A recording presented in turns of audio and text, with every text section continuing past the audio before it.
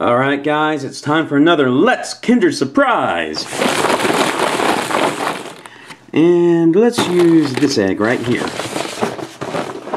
Put you off to the side, open this up, and... Oh darn. This one doesn't have instructions and the stickers have already been applied and they're peeling and... Oh my, what is that? Looks like a peg broke off. Anyway, uh, let's hope it goes together just fine, even with that broken peg. Um, got a gear here, or a wheel.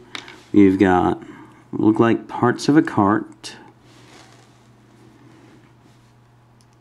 Push the wheel in here like this.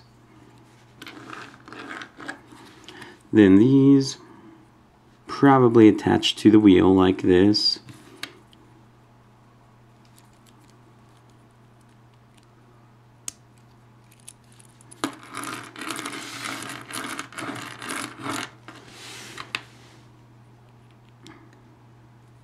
This one's pretty simple so far.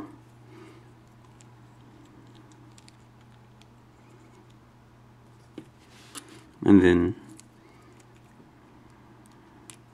there we go. So we've got a squirrel pushing nuts. Pretty neat.